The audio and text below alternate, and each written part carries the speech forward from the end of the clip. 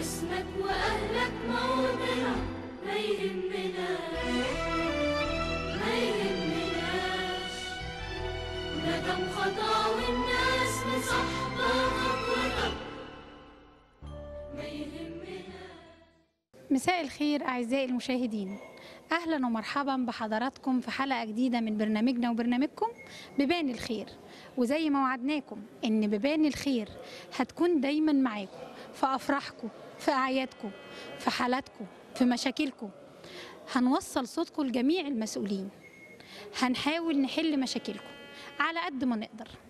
النهاردة في العيد القومي لمحافظة عروس القناة محافظة الإسماعيلية تغطية شاملة انتظرونا فاصل وراجعين.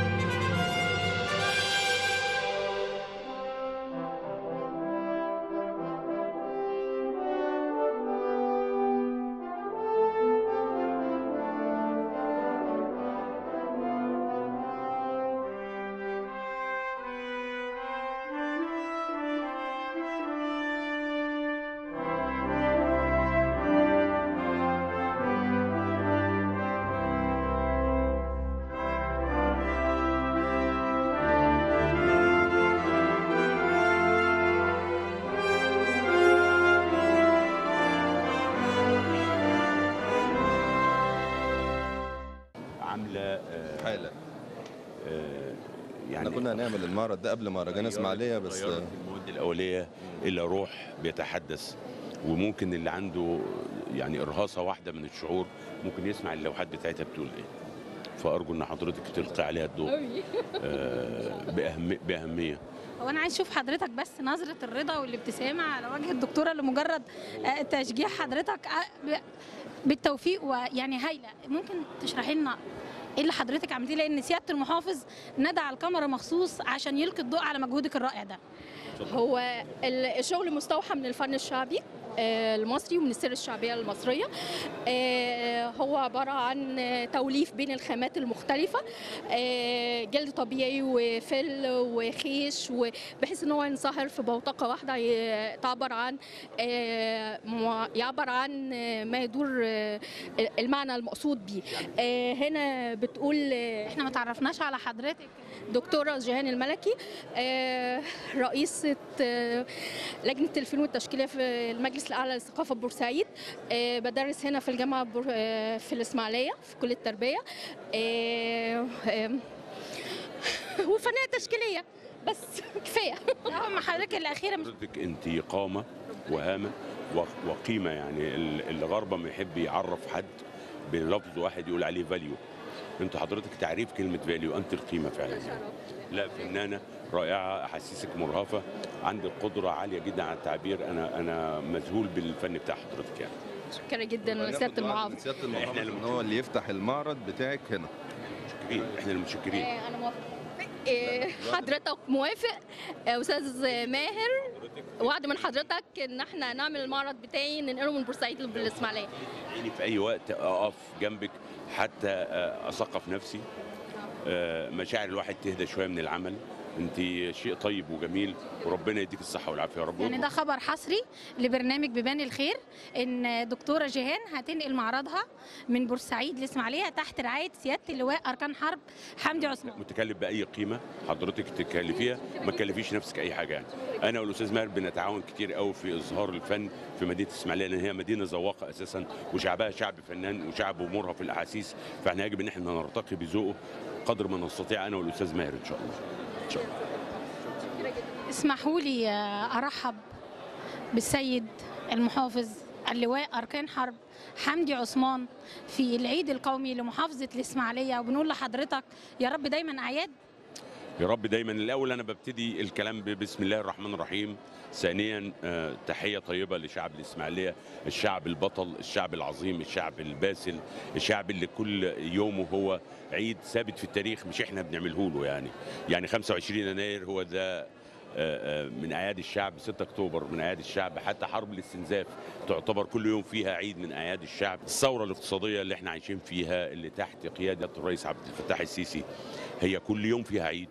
لما نتكلم على أي حاجة بتحصل في المحافظة من أنفاق تحت قناة السويس أو من مدينة الإسماعيلية الجديدة أو من عبور المياه العذبة تحت قناة السويس في آه، آه، سيفون سرابيوم أو عبور المياه المحللة آه، ثلاثيا في سيفون المحسمة عشان نزرع أرض خير ونماء وتضاف إلى المساحة الزراعية في مصر لما بنتكلم على المزارع السمكية الهائلة اللي موجودة في الشرق لما بنتكلم على حالة الطرق الاستراتيجية لما بنتكلم على الكباري لما بنتكلم على بناء الإنسان المصري في الإسماعيلية من خلال منظومة الصحة ومنظومة التعليم ومنظومة التغلب على العشوائيات منظومة الجلب الاستثمار في المناطق الصناعية وفي المنطقة الاستثمارية.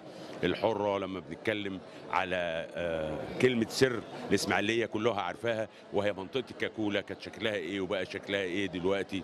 لما بنتكلم على تكلفة مياه ال- ال- ال- الشرب الصحية النقية عشان كده أنا شجعت وقلت مفيش مياه آه، آه، معدنية. معدنية في أي ديوان من دواوين المحافظة لأن أنا ذواق للمياه لأن أنا منوفي وجاي من القاهرة فجيت على الاسماعيليه هي أطيب طعم ميه فهي يجب إنها آه، نستغلها وتوفر في الاقتصاد. لو أنت حبيتي شعب الإسماعيلية زي ما أنا بحبه هتعرفيه وتعرفيه عن قرب بسرعة جدا يعني. آه، شعب مفتوح شعب كتاب أبيض آه، محافظته مترامية ولكنها سهل العمل فيها. ما هيش طولية ما هيش زي مرسى مطروح مثلا أو خلافه. شعب بناء. شعب بيحب بسرعة بيجبرك على الاستقامة ويجبرك على الشفافية من ثقته فيكي من أول ما شافك. لا هو بيوصله يا قلب يا فندم الكلام من القلب. فلما الكلام بيكون هو شعب صعب الضح- الضحك عليه. يعني لو هنقول شوية كلام منمق وما تش طالع من القلب أنا اسماعيلويه فعارفة فهو بيوصله الكلام من القلب. فهت بضحك على حد أنا ببتسم بس. لا كلام حضرتك وصل. حاضر قصدي أقول لك حاضر. أنا بتكلم على أشياء موجودة في الإسماعيلية وهم شايفينها. بوعز الفضل إلى أهله. مش لحد آخر إن الفضل ده هو آه، آه، آه، كيف دبر الأمر من قبل السيد رئيس الجمهورية إنه أوجد المشاريع الطيبة الجميلة العملاقة الاستراتيجية دي كلها في وقت وجيز هم الأربع سنين اللي فاتوا. أنا بتكلم على حاجات موجودة على الأرض. إنما إيه المستقبل في إيه بالنسبة للقادمين الجدد؟ بقول إن إحنا عاوزين نزود مساحة المناطق الاستثمارية والمناطق الاقتصادية ب 158 فدان كمان إن شاء الله وهنعلنهم.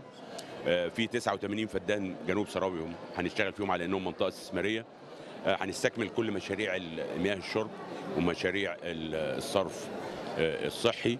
وإحنا ابتكرنا حاجة في المحافظة الحمد لله إن 60% على المحافظة هو 40% على المنتفع المستفيد من آه، ال- الصرف ال- الصحي. ومش هاخد منه فلوس. كلمة ال 40% دي لا تترجم إلى جمع فلوس ولأنها تترجم إلى التبرع بقطعة الأرض اللي هتقوم فيها محطة الرفع آه، ومددانه التوصيل من منزله إلى الماسورة الرئيسية في وسط الشارع. أنا كده بقول دول ال 40% بتوع كفايه سيب لنا البقيه ال 60% بقية 60% اللي هي جوهر المشروع و آه، آه، بن- بنشرك معانا المجتمع المحلي الطيب المحترم اللي هو شعب الإسماعيلية آه، معاهم قدرات خلاقة وإحنا بنحاول ندخل القدرات دي في إنها آه، ترتفع بمستوى معيشة الغير قادرين. دي مهمة جدا علشان أماكن مرأة واماكن شاب لازم أوصله لمستوى معين من محو الأمية ومستوى معين من الدخل الاقتصادي وإحنا شغالين في دي الحكومة بجانب ال- الجامعات الأهلية والمجتمع المدني علشان نبقى كلنا بننهض بمجتمعنا إن شاء الله. يعني حضرتك أول حاجة دورت عليها أدمية المواطن أساسياته اللي بيحس بيها بأدميته. مش أنا كمان هي دي توجيهات من سيادة الرئيس لأن هو إحنا بنعمل بتوجيهات وهو دارس عميق لمشكلات الشعب المصري وعنده القدرة ما شاء الله على الحل لكل شيء آه، بتقسيم المشاكل إلى جزيئات صغيرة عشان نبقى قادرين على الحل. طب يا فندم سؤال علشان أنا عارفة وقت المعرض الهدية. تحت أمر الإعلام ربنا. أي حاجة يعني المعرض والفنون تستنانا بس فيه مهمة لينا جميعا أرجوك إنك ت- تعيها وتنشريها للناس. أنا مش مسؤوليتي فقط إن أنا آه، أخطط وانفذ واتابع وأشرف على ما خططته في مهمة كمان أرجو إن أنتوا آه، تخلي بالكم منها قوي اللي هي رسخ رسخ الوعي في نفوس الناس اللي هو بيساوي الالتفاف حوالين عالم واحد ورجل واحد هي جمهورية مصر العربية. آه، عندنا مغلوطات كتير في آه، أثر آه، غياب القائمين بالمهمة اللي أنا كلمتك عليها اللي هي بس الوعي. آه، فعقول شبابنا وعقول ال ال ال ال الأولاد اللي هم المؤثرين ولادنا آه، خدتها جهات في ال social media كتير بدأت تغرس فيها أفكار لا قبل لها من الصحة عارية تماما. فواجبي أنا من ضمن مسؤولياتي إن أنا أتكلم معاكم كتير قوي. وإحنا تحت أمر حضرتك يا فندم. بالظبط. لأن هم شعب بس الوعي. 10 على 10 شعب الإسماعيلية عارف المشاريع اللي أنا بتكلم عليها دي وهو عايش فيها وشغال فيها. فتكرارها تكرارها تكرارها ما بيقدمش أو بيأخر لأن هي واقع مش مستقبلي. ولكن أنا وظيفتي الأساسية أو الأولوية فيها هي بس الوعي الواعي الدقيق. بس بستخدم الأرقام شوية اعذروني لأن لو أنت مش على دراية بحقيقة الأمر ما تعدكيش القدرة إن أنت تبثي وعي لحد. يبقى أنت بتقولي كلام إنشا ما حدش هيستقبله. كان بتبقى دليل على المصداقية وبتبقى أكبر إحصاء. بيقول كده العلم بيقول كده. ما نيجي نتكلم على أي حاجة نتكلم بأرقام فما تزهقوش من إن أنا بقول إيه دايما الأرقام. ولكن الهدف منها هو بس الوعي وتثبيت وترسيخ. الوعي الوطني لكل ولاء لمصر في نفوس ولادنا علشان ما ياخدش تفكيرهم حد تاني مننا والحد التاني ده يقصد ضرر مصر. طب إيه الأرقام يا فندم اللي النهارده سيادة اللواء أركان حرب حمدي عثمان عايز يقولها للاسماعيليه وللاسماعيلويه في عيدها القومي بمشاريع؟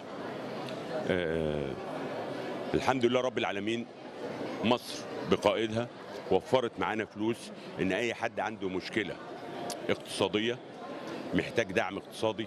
أنا جاهز وحاضر وده كلام بيتسجل عليا. ومن يوم ما جيت بقالي شهر بقابل آه، ناس كتير والحمد لله ربنا سهل لنا إن إحنا بنحل مشاكل الناس. المشاكل اليومية دي بتبقى صعبة على الإنسان الغير قادر على حلها بتبقى حجر عصر في حياته يعني. معانا الحمد لله الحكومة موفرة لنا ورئيسنا موفر لنا الموارد المادية اللي نقدر نفرج على أي حد. ده ندى ببثه من حضرتك. الندى الثاني إن إحنا عندنا القدرة إن إحنا آه، نسد حاجة آه، إخواننا اللي في القرى آه، إذا كان في دخله الشتاء دي إذا كان في أي مساعدة إحنا نقدر نعملها إحنا جاهزين. إنه في ملايين أنا جاهز لصرفها على الناس بس مش بطريقة إعطائي سمكة. لا سنارة. بطريقة إعطائي إيه؟ كيف أصطاد. فال 5000 جنيه ممكن أي حد ياخدهم يصرفهم في شهر. إنما لو أنا عملت له بيهم مشروع الجديد بقى لو أنا خليت خمسة ستة مع بعض يعملوا مشروع دخلنا في 40 50 ألف جنيه أصبح هناك إيه؟ مشروع نقدر نتكلم إنه ممكن يدخل دخل ويحول شكل المجموعة من مستوى اجتماعي إلى مستوى اجتماعي أرقى إن شاء الله. وإن شاء الله يا فندم برنامج بيبان الخير مع حضرتك في افتتاحات في تحويل أرقام في استقبال وكل سنة وحضرتك طيب وشعب إسماعيلية كله بخير. وأسيب حضرتك اللي باقي حضرتك متشكرين جدا. متشكرين جدا لحضرتك. متشكرين يا فندم.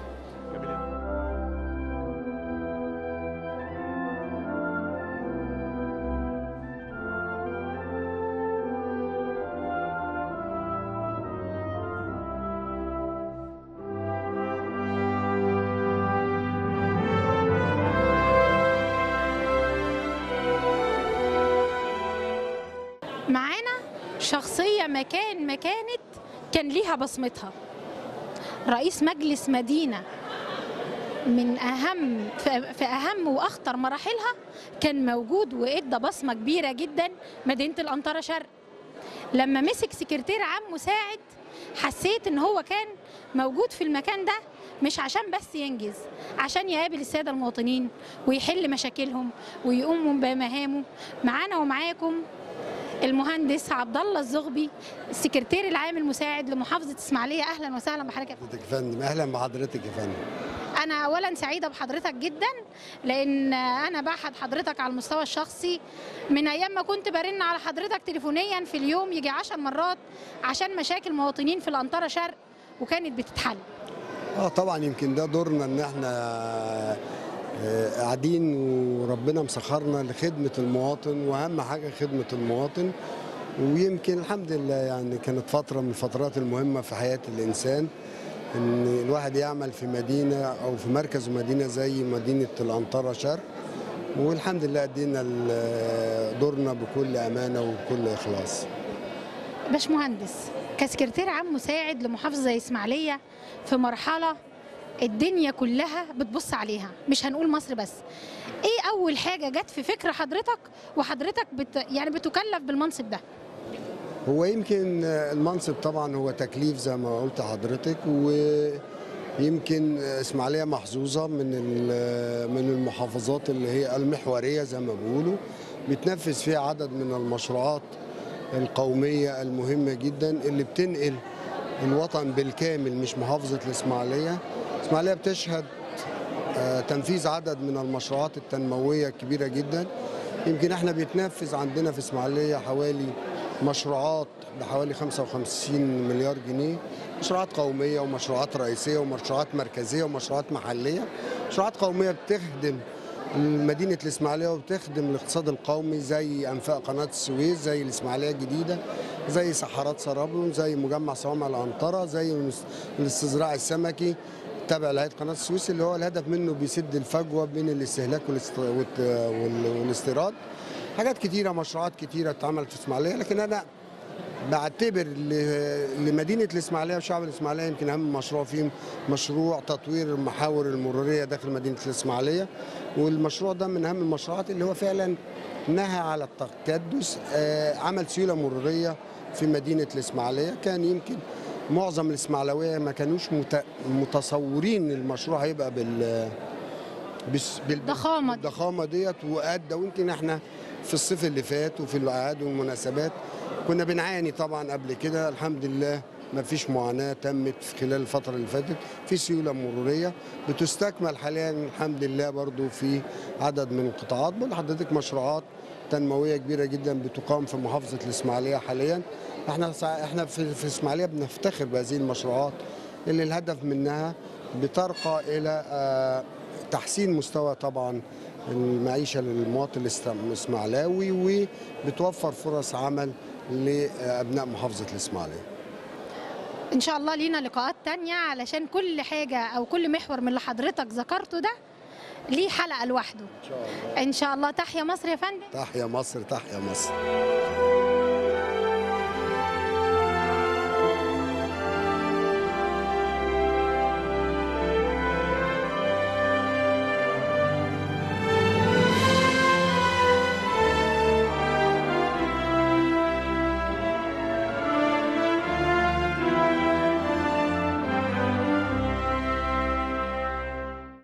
بنرحب بضيفي العزيز جدا جدا على قلبي وبطل وما تحطش في مهمه ما سدش. اللواء أشرف فؤاد رئيس مجلس مدينة إسماعيلية. أهلا وسهلا بيك يا سياده اللواء. أهلا بيك يا فندم. كل سنة وحضرتك طيبة والشعب الإسماعيلية كله بخير وطيب. كل سنة وحضرتك طيب وإسماعيلية ومصر كلها بخير. وأنت بالصحة والسلامة يا فندم. بنهنئ أنفسنا وبنهنئ شعب الإسماعيلية وبنهنئ آه، المقاومة بتاعت إسماعيلية.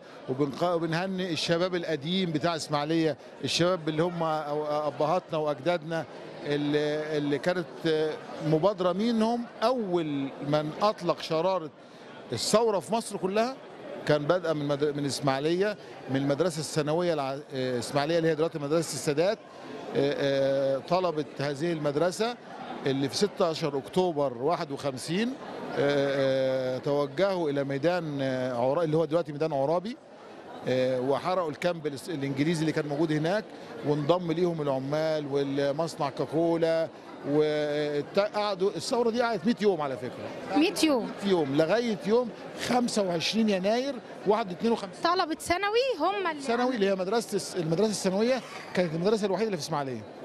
قامت بال- بالثورة دي كده في بدايتها شرارة الثورة لغاية ما وقفت 25 يناير و52 ودي من ضمن الأسباب اللي عجلت بثورة 23 يوليو لأنها كانت قامت ثورة في مصر كلها.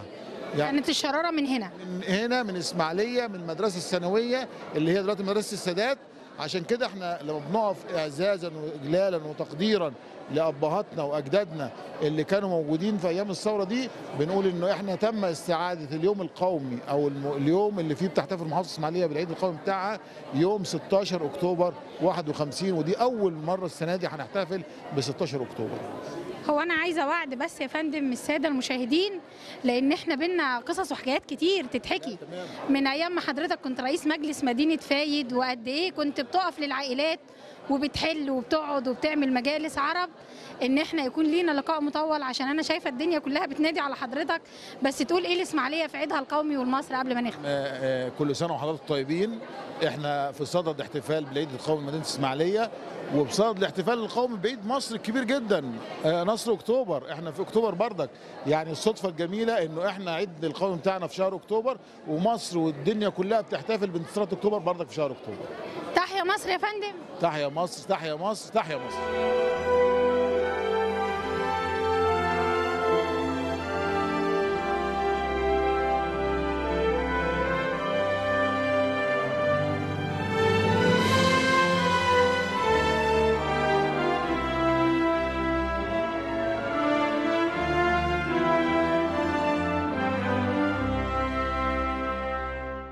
ومعانا ومعاكم آه، اللواء عماد يوسف رئيس مجلس مدينة التل الكبير. واهلا بحضرتك يا فندم. أهلا يا فندم بحضرتك.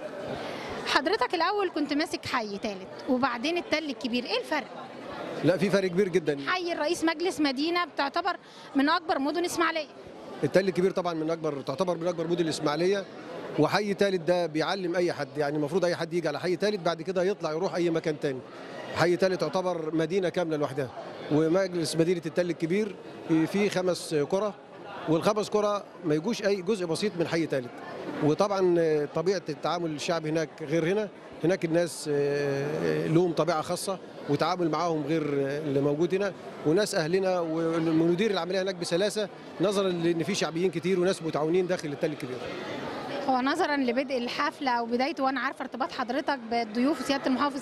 إيه الكلمة اللي حضرتك تقولها لإسماعيلية في عيدها القومي النهارده؟ إحنا من حي شعب الإسماعيلية شعب الأبطال والتضحيات.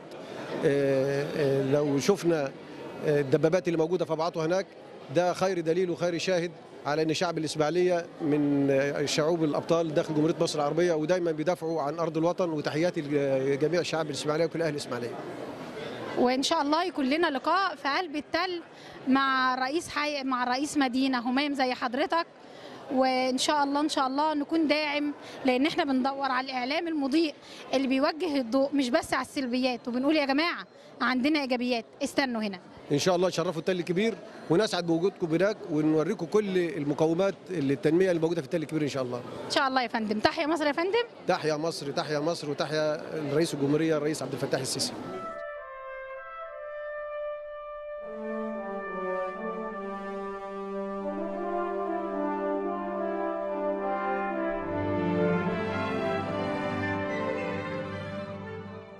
مع وجه جميل من الإسماعيلية.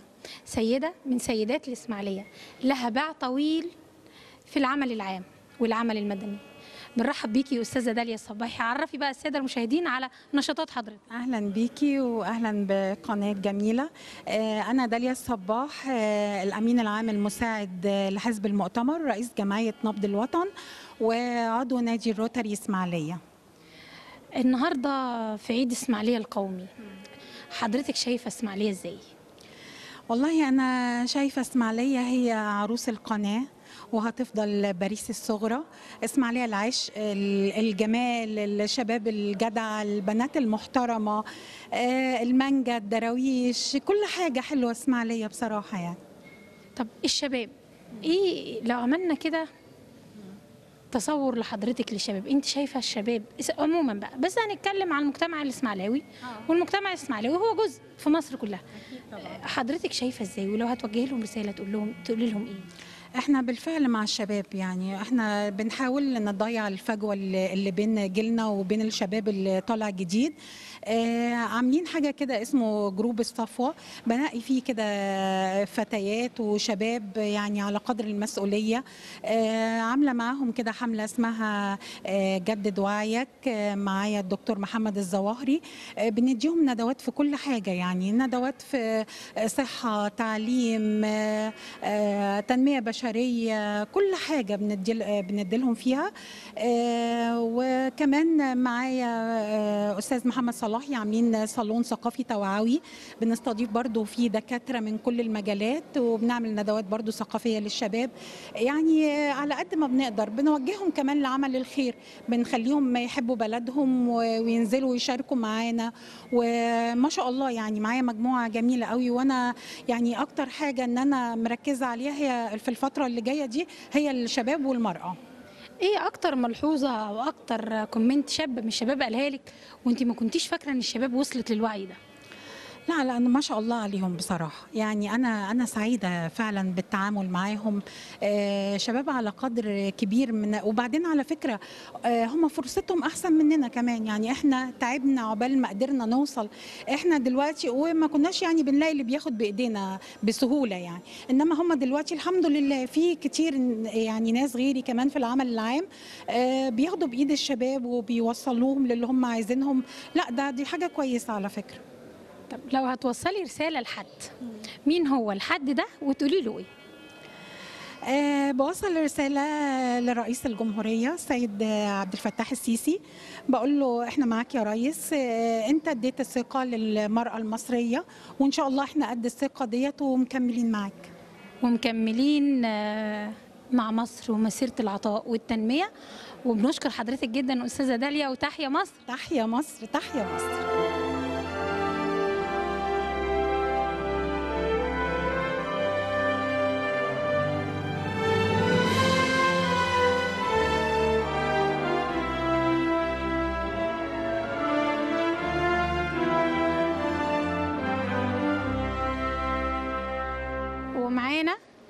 أستاذ عادل عبد السلام اللي خاف أقول حاجة من المناصب اللي تقلدها وكان قدها وكان قد إيه بيتصرف وما زال ما تلجألوش في أي حاجة. أنا عن نفسي بلجأ له في اليوم بعد ربنا يجي خمسين مرة لمشاكل طلاب والحل مشاكل أولياء أمور. أستاذ عادل عرف بقى السادة المشاهدين بحضرتك. عادل محمد عبد السلام مدير عام بالتربيه والتعليم مدير إدارة الاسماعيليه التعليمية سابقا مدير عام تنسيق الوزارة حاليا مكتب فني للسيد وكيل الوزاره أستاذ عادل التربية والتعليم إيه رأي حضرتك في اللي جاي؟ عدينا اللي راح. أنت شايف اللي جاي رايح على فين؟ إن شاء الله اللي جاي أحسن وديت لابد من التغيير. كل الدنيا التطورات كلها والتكنولوجيا الحديثة بتقول إن إحنا لابد من التغيير. مش هنفضل طول عمرنا على الكتاب الورقي لازم يبقى في تطوير. آه، جربنا قبل كده التابلت وبرضه المنظومة الناس عرفته شوية. هنخش دلوقتي في النظام حتى نظام الثانوية العامة البوكلت حسيناش بالثانوية العامة لينا سنتين. مفيش الرهبة مفيش الدوشة اللي موجودة. آه، كل يوم في جديد لازم يبقى في تطوير كل يوم. مش النهارده يعني بعد ساعة حتى الموبايل حضرتك بيتغير كل ساعة المنظومة فيه جديدة. فلازم يبقى في تطوير ون- ونعاشر الموجود حاليا عشان نوصل لنفس المنظومة على مستوى العالم. مش هيفضل مكاننا. والناس دايما رافضة التغيير ده للأسف يعني. لكن إحنا الحمد لله بنحاول على قدر المستطاع إن يبقى في جديد وفي شغل جديد وفي منظومة للطالب بحيث إنه يطور من نفسه في البيت كمان يكون مساعد معاه مش هيبقى بره وجوه. كلمة أخيرة علشان حضرتك تلحق الاحتفال تحب توجهها. هتتكلم في إيه وتوجهها لمين؟ بوجهها لأولياء الأمور ما يستعجلوش الأمور. وما يدوش دروس قبل ما يعرفوا المنهج هو إيه اتغير ولا ما اتغيرش وإيه الجديد فيه. وبعد كده يجيبوا الإعاقة على التربية والتعليم يقولوا إن إحنا الدروس الدروس. أنت اللي بتتسابق مع ما تعرفش ابنك فهم ولا ما فهمش اتعلم ولا ما اتعلمش. كنا بناخد زمان الدرس في المادة اللي أنا مش عارف أفهمها. دلوقتي بناخد في الدرس في المادة اللي أنا مش عارف هي إيه مظبوط ولا مش مظبوط. بس ده اللي أنا أقوله. كل سنة وحضرتك طيب وتحيا مصر يا فندم. تحيا مصر تحيا مصر تحيا مصر. شرفتني يا أستاذ عادل وما يكفيناش لقاء إن شاء الله لينا حلقات وحلقات. تحت أمر سعادتك يا فندم. وشرفنا بيكم وشرفت إسماعيلية ودايما إسماعيلية أرض البطولات سواء آه، داخلية أو حربية. إسماعيلية هي مركز ال- البطولة والعروبة وكل حاجة إسماعيلية. متشكرين منكم جدا وشرفت إسماعيلية يعني. شكرا لحضرتك. رجال على مر التاريخ أبطال نبلوا وشالوا الأمانة وتحملوا الأهوال والشهيد اللي مسافر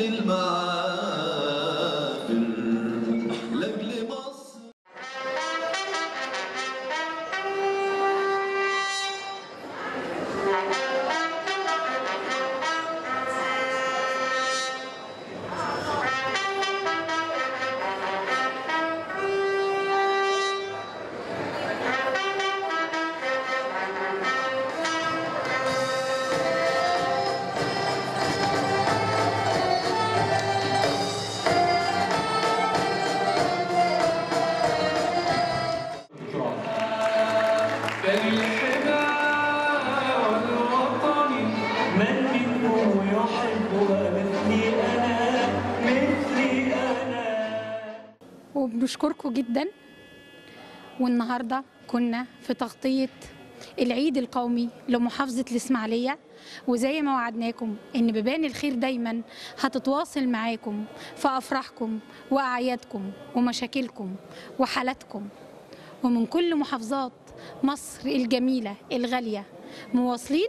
انتظرونا فاصل وراجعين. ورجعنا لكم بعد الفاصل. أنا من يعني بصراحة مش عارفة أقول حالة مش عارفة أقول واجهه مشرفة مش عايزة أقول تجربة رائعة. سرطان كانسر كلنا بنخاف ونترعب وطبعا عندنا حق. حضراتكم شفتوا حالات معايا اتعافت وحالات ما تعافتش لكن ما جبناش حالة لسه في قلب الحدث. واسمحوا لي أسميها بطلة لسه في قلب الحدث. لأن السرطان ده عدو محتاج أبطال من نوعية اللي هنشوفها دلوقتي ونحكم. أهلا ونورتيني يا هبة بجد فعلا. أهلا بيكي وأختي وحبيبتي وصاحبتي وعشرة السنين. متشكرة جدا جدا على على الدعوة الكريمة دي. يا جماعة اللي أنتم ما تعرفوش إن هبة صديقتي أصلا. فأنا عايزة أقول لك على فكرة يا هبة ما شاء الله عليكي ما شاء الله إحلويتي. كل الناس بتقولي كده حتى جوزي. أنا بقول له يعني لو كنت أعرف إن هسمع الكلام الحلو ده كنت قلت كنت اتمنيت إن الكانسر كان جالي من زمان. هبة أول ما سمعتي هنجيب بقى إيه؟ من الأول. كلنا طبعا عندنا أفكار مهولة عن ال cancer.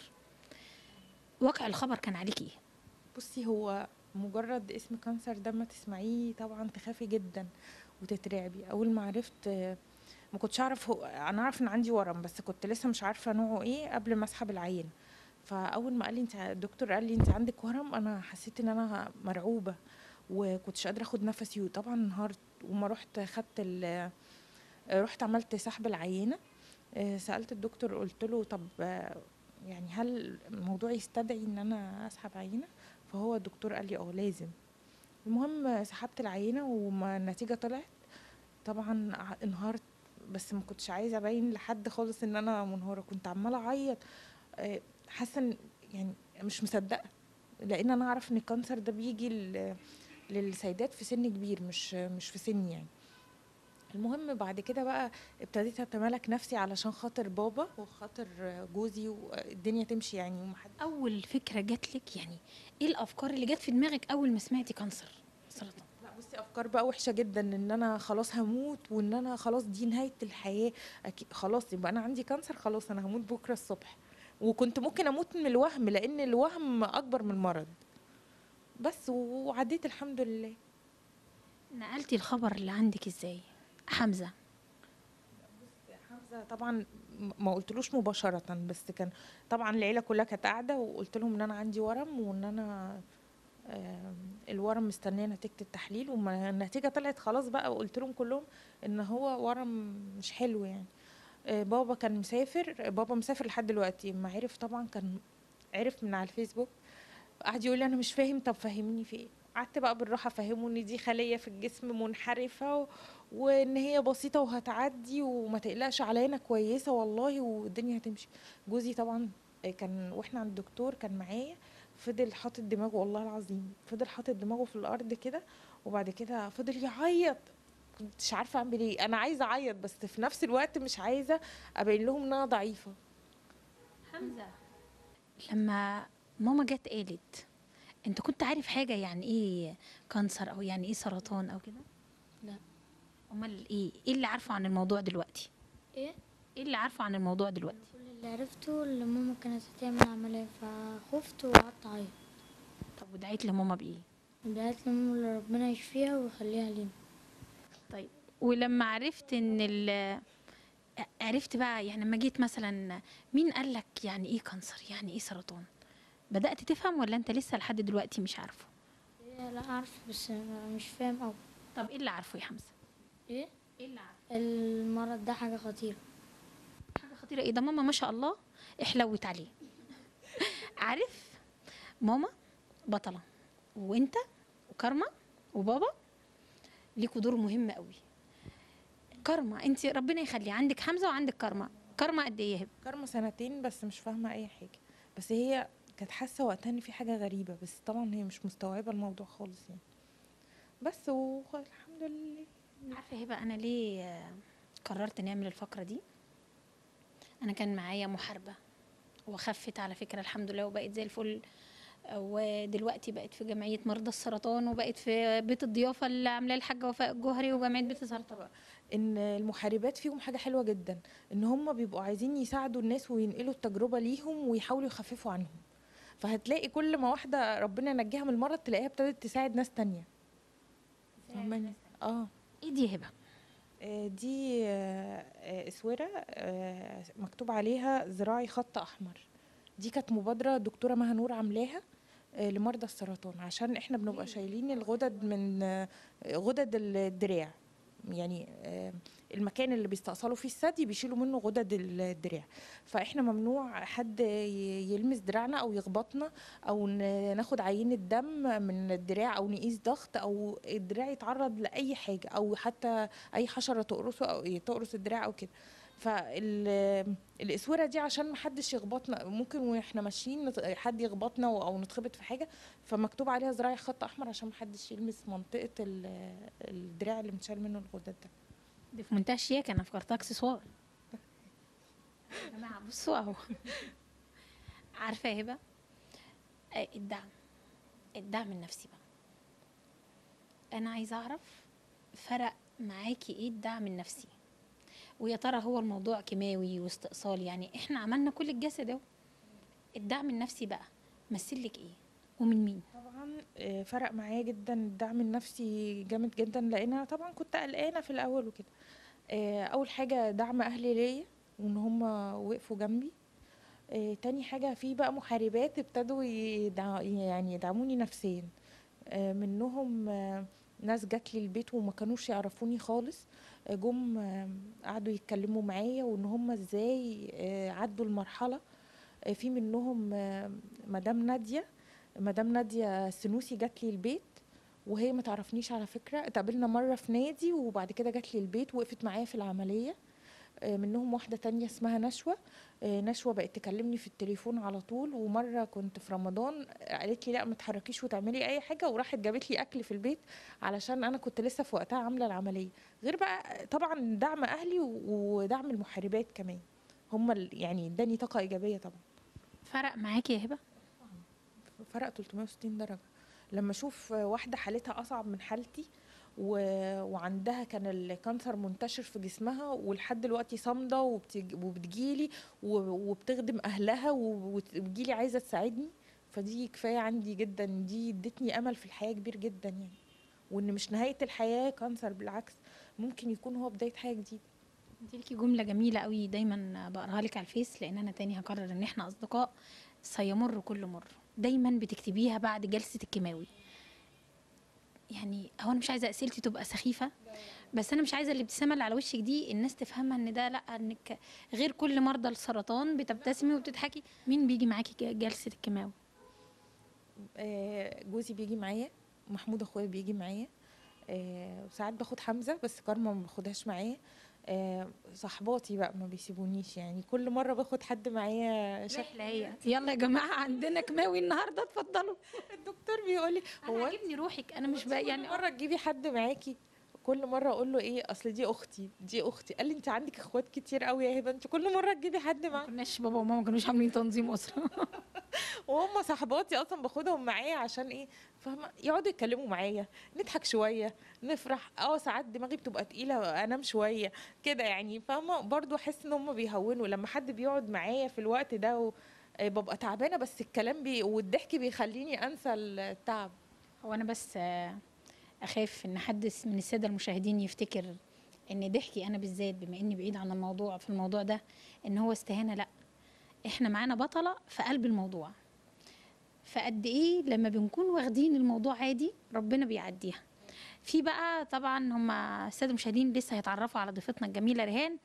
إحنا كلنا أصدقاء مع بعض. أول ما ريهان دخلت وقلت لها الميك أب ومش كنتوا بتتكلموا عليه عشان ما سمعتكوش. كنا بنتكلم عن إن إحنا عايزين نعمل مبادرة للسيدات المحاربات طبعا. إحنا متدمرين يعني في ناس متدمرة نفسيا آه، يعني جامد جدا. فريهان عندها يعني أخدة آه، كورسات في قصة الدعم النفسي غير إنها شاطرة في الميك أب جدا. فقلنا بقى وإحنا واقفين كده على السريع لا إحنا عايزين نساعد الناس دول نعمل لهم يوم بقى وريهان تظبطهم بقى تخليهم عرايس وكده. قبل ما ما أروح لرهان آه، هبة الصورة اللي انت نزلتيها أول ما شعرك وقع. يعني أنا واحدة من الناس أول ما شفت الصورة انت الأول خدتي الخطوة الجريئة قوي قوي قوي دي إزاي وليه؟ هقول لك أنا. اولا شعري طبعا وقع كله يعني بعد الجلسة الأولانية خلاص الشعر كله وقع. فأنا عندي محاربات كتير قوي على صفحتي على الفيسبوك. فقلت أنا هنزل وأنا قوية. إيه يعني شعري وقع؟ الناس فعلا صعبة بس أنا كنت يعني اتخضيت طبعا أول ما شعري وقع اتخضيت. شعري وقع كله كده مرة واحدة. فطبيعي لازم اتخض أنا بشر. بس أنا قوية. أنا هعد يعني إن شاء الله الفترة دي هتعدي وشعري هيرجع تاني. وهنزل صفحتي على الفيسبوك عشان المحاربات يشوفوهم وما يبقوش متضايقين. أنا نزلت صف... شعري يعني نزلت آه، آه، صورتي من من غير شعر. إيه المشكلة؟ وإن الفترة وهتعدي وشعري هيرجع أحسن من الأول. وريهان عمالة تقول لي شعرك هيرجع أحسن من الأول وأنا متفائلة ومصدقاها إن شاء الله. واسمحي لي الأول قبل ما نقول اللي كنت بتتكلمي فيه أرحب برهان آه، يعني هنقول إيه من أحد الصديقات الكتير قوي المقربين لهبة وليا على المستوى الشخصي. برحب بيك يا رهان آه، أنا سعيدة إن أنا معاكم النهارده ومع هبة ومعاك يا شيرين آه، على المستوى الشخصي إحنا أصحاب. وسعيدة إن أنا بتكلم في الموضوع ده وخصوصا مع مع هبة بالذات. طيب الأول هقطعك في دي. أنتوا قعدتوا تتناقشوا شوية أول ما شفتوا بعض وإيه ده الميك أب جميل طب نعمل أنا ما عرفتش أركز فأنا عايزة نقول كنتوا بتتكلموا في يعني أنتوا استغليتوا اللقاء ده على فكرة يا جماعة لو سمحتوا إحنا لينا حق رعاية. فكرة أيوه. آه، هبة كانت بتكلمني في موضوع الدعم النفسي إن إحنا بنعمل نحاول نعمل حاجة كده دعم نفسي لل للمحاربات. فكنا بنتكلم إن إحنا نفرحهم بحاجة كويسة نعمل make up كويس نعمل حاجة حاجة كده للستات بقى يعني نظبط ون... يعني انت عارفة دايما الواحد لما يبقى شكله حلو بتبقى نفسيته حلو. فاحنا فكرنا كده حالا وإحنا أول ما شفنا بعض دلوقتي إن إحنا نروح نعمل يوم آه، نعمل make up آه، نعمل شوية treatment كده لوشنا نحاول نشوف شعرنا هنعمله إزاي ونعمل ننبسط. مش إحنا كده كستات لما بنتقابل ولا حاجة نروح الكوافير أو نروح نغير جو أو نروح نعمل حاجة جديدة. فاحنا هنعمل ده جوه المكان بتاعه. فين بقى المكان يا هبة؟ والله أنا لسه يعني إحنا عندنا كذا كذا مكان ممكن نعمل فيه بس إحنا لسه ما حددناش بالظبط ممكن نعمل فين. يعني في دار ممكن دار الاست- آه، آه، معلش. الضيافة. دار الضيافة. ممكن نروح نعمل فيه وممكن عند حد مثلا من المحاربات في البيت ممكن عندي أنا عند ريهان عند أي حد. بس فكرة هنا مفيش أي مشاكل. بجد؟ طب تمام زي الفل. بس إحنا عايزين نتجمع في مكان مش مهم المكان. المهم الفكرة إن إحنا نعملها. مين أكتر؟ آه. مين أكتر واحدة هتفرح بالفكرة دي يا هبة من المحاربات اللي معاكي؟ آه، بصي نشوة. نشوة صاحبتي آه، هتفرح بالفكرة قوي لأن هي برضو بتحب هي محاربة وصغيرة في السن عندها 26 سنة وهتفرح قوي بتحب الحاجات دي وبتحب تفرح المحاربات جدا يعني. في ست ولا بنت يا شيرين ما بتحبش إنها تبقى حلوة أو أو تغير أو تعمل مود حلو أو كل الستات أو كل البنات عامة. فتخيلي إحنا لو عملنا ده مع ناس محتاجة انت عارفة الأدوية أو الحالة النفسية دايما بتأثر علينا على شكلنا. فالفكرة إن إحنا نغير دي ممكن تعمل سبورت أو تعمل دعم حلو قوي أو تغير نفسية كويسة قوي. عايزة أقول لك على حاجة بقى أرجع عشان أنا كنت سامعة الحوار أول ما دخلت. عايزة أكلمك كده آه، شوية عن هبه آه، إحنا فجأة ك ك ك- كمجتمع آه سمعنا إن هبة تعبانة. طب هبة تعبانة؟ آه، طب جاء كذا. آه، الحقيقة يعني إحنا اتصدمنا ما كناش عارفين نعمل إيه بس هبة اللي ادتنا القوة إن إحنا نتعامل معاها. يعني أنا من الناس اللي كنت ممكن أسأل حد من صحابنا على هبة لغاية أنا لما. شفت هبة. ولما شفت هبة كنا كنا قاعدين مرة واتقابلنا بره قبل ما تدخل العمليات هي اللي ادتنا القوة على فكرة يعني. يعني إحنا المفروض اللي هنديلها القوة لا لقينا هبة هي اللي بتديلنا القوة. هي اللي جريئة ما شاء الله هي اللي واخدة الموضوع بمنتهى الإيمان والقوة والعزم و... وكان عندها حاجة كده من الرضا. عارفة اللي هو قلبها كان مطمن زي ما يكون ربنا كان مطمنها. وكانت عندها حالة حلوة قوي كانت طبعا قلقانة وكانت طبعا مرعوبة والكلام ده أكيد. بس الحالة الحلوة اللي كانت جوه هبة أنا كنت بتمنى إنها كل الناس تشوفها في الوقت ده وتعرف إن الواحد لما بيبقى عنده إيمان بالله وبقضائه آه، الموضوع بيعدي. عارفة يا ريان أنا أول ما شفت صورة هبة على الفيس عارفة اللي هي الأول اتخذت قوي وبعدين لما فكرت في الموضوع لقيت لا برافو عليكي. أنا أكتر حاجة بتضايق شعري وقع أوعى حد يعرف إن شعري وقع قوة. عايزة أقول لك آه اعتزازها بن... يعني يعني مش شرط إن أنا عشان شعري مش واقع. حاجة معينة اللي بتزود آه جمالي هتضايق. لا بالعكس آه، قوة. يعني هي هي مش مش معنى إن أنا شعري واقع مثلا إن أنا هتضايق أو هتكسف أو هتدارى. لا خالص. دي حاجة ممكن يمر بيها أي حد في أي وقت مش هتكسف منها. فكانت بمنتهى الجراءة وبصراحة أنا اتبسطت بيها جدا كنت فرحانة بيها جدا على فكرة يا جماعة هبة أصلا محجبة يعني هبة أصلا آه لأ في ناس ممكن عشان إحنا بنتكلم عن الشعر. وكده لأ هبة أصلا محجبة لو قدرنا نلخص آه، الموضوع ده يا هبة في. يعني منح منح ربنا ليكي إيه عبارة عن واحد اتنين تلاتة في المنحة الكبيرة في المحنة الكبيرة لأن مهما كنا بنضحك أو بنهزر إحنا ما بنخففش من حاجة بس إحنا بننقل قد إيه الوقوف جنب بعض. المؤمن للمؤمن كالبنيان زي ما قال لنا رسول الله صلى الله عليه وسلم المرصوص. ف إيه المن... انت شفتي إيه؟ إيه الحلو اللي شفتيه في الأزمة الوحشة قوي دي؟ بصي آه الحمد لله ربنا أنعم عليا بحاجات كتير كويسة جدا. منهم آه الحمد لله أنا عديت فترة صعبة يعني عديت فترة شوط كبير. دي برضو نعمة من ربنا إن أنا قدرت أقف على رجلي وإن أنا قدرت أقاوم وإن أنا قدرت أفضل حتى ثابتة في بيتي. يعني الحمد لله على قد ما أقدر بحاول أبقى يعني في البيت ماشي والدنيا ماشية. آه، اتعلمت إن أنا أصبر على الابتلاء. أصل ده ابتلاء شديد. اتعلمت إن أنا أصبر ما ما اتسرعش. حتى اتغير حاجات كتير قوي في حياتي. يعني بقيت حتى أخد الأمور بالراحة. عايزة آه، بقيت عايزة أستمتع بحياتي يعني كل لحظة لأن أنا ما حدش عارف بكرة في إيه. فأنا عايزة أستمتع باللحظة اللي أنا عايشها النهارده و- وأبقى مبسوطة واولادي مبسوطين وبيتي زي الفل فاهمة؟ آه، دي حاجة. آه، ربنا أنعم عليا بصحاب حلوين وقفوا جنبي. آه، يعني الحمد لله ودي نعمة برضو كبيرة من ربنا سبحانه وتعالى.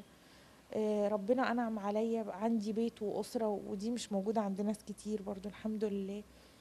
آه، الحمد لله على كل حال آه، آه، يعني في ناس كتير بقت حواليا بحاول أساعد ناس كتير ودي حاجة كويسة برضو دي بتنعكس آثارها عليا. فالحمد لله على كل حال حاجات كتيرة حلوة والله العظيم الحمد لله. هو مفيش أجمل يا هبه من الكلام اللي انت قلتيه إن أنا أختم بيه واسمحي لي أشكرك جدا يا ريهان ونورتيني النهارده. والله أنا اللي بشكرك وبشكرك يا شيرين إن انت يعني دعيتيني على الحلقة بتاعت هبة. وطبعا طبعا كل الشكر لهبه لأن هي اللي تستاهل الشكر على الطاقة الإيجابية اللي هي بتديها لنا لا أنا آه، يعني أنا عارفة إن جلستنا دي ما كانش ينفع ليها حلقة بس بصراحة فكرة مجموعة المحاربات والميك أب فلو هم حابين ينقلوا تجربتهم دي وقد إيه يا جماعة إحنا من غير make up جمال وب make up أجمل فانت بقى هسيب لك انت تنسيق الفكرة دي وإحنا على تواصل. وفعلا آه، الحمد لله زي ربنا قبل ما بيبلي بيدبر. أنا عايزة أقول حاجة وده كان الهدف من استضافتي لهبة النهارده وهدف برنامجنا اللي هو بيبان الخير إن طول ما إحنا واقفين مع بعض ربنا هيقف معانا. وإن مش لازم الحاجة تكون مادية الحمد لله. هبة مش محتاجة لحد في جنيه بس دعواتكم وقفتكم. زي ما بقولها لحضراتكم لما يكون معايا حالة محتاجة حاجة مادية. بقول اللي ما يقدرش يعمل أي حاجة خالص يرفع إيده بالدعاء ويدعي. يمكن دعوة واحدة بظهر الغيب لحد ما نعرفوش هي تكون سبب شفاه وتكون أهم من كنوز الدنيا. أشوفكم الحلقة الجاية.